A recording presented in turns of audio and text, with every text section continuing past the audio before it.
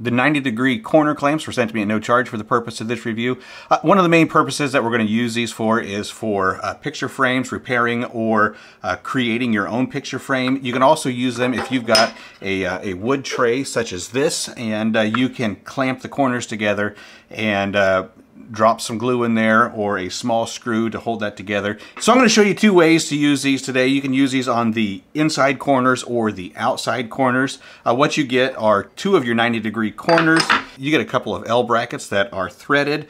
Then you got your clamp and then you've also got your knob to clamp that together. It's going to look like this once you get it all uh, put together. So when you get your corner clamp in there, and let's say that we're just gonna do this right here on the inside corner, we're gonna take one end of the, uh, the L bracket and we're gonna slide it into one of these holes on the, the, the 90 degree angle. Then we're gonna slide that up tight to the uh, to the frame and snug that in. Now we're gonna get a true 90 with this every time. So I only have one side clamped right now. Uh, to do the other side, we're just gonna open this, our clamp up a little bit, slide it over our box, and then we're just gonna clamp that, just like that. Super easy, super simple. And now we can do whatever we need to do. We could glue the inside 90 degree here, or we could take a couple of little screws and we can screw these together from the outside. And this isn't going anywhere. You, It's completely snug, tight,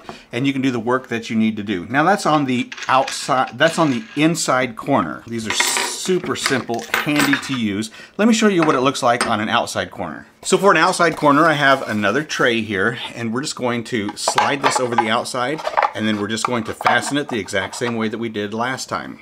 Now for something small like this, you're probably going to uh, want to uh, glue that inside 90 degree. But you can see just how quick and easy this is. Uh, of course, my tray is already assembled. But if you were assembling this yourself, here you are, just a, a couple of, of, clamps to put on there. You got yourself a true 90 degree angle and you're ready to fasten that together, whether that be with little brad nails or you can drop some, uh, drop a little bit of glue in there around that corner and you're good to go. Super nice, super handy. And we can do other corners with this as well. Hold everything tight. You got uh, two of the, you got two of the 90 degrees.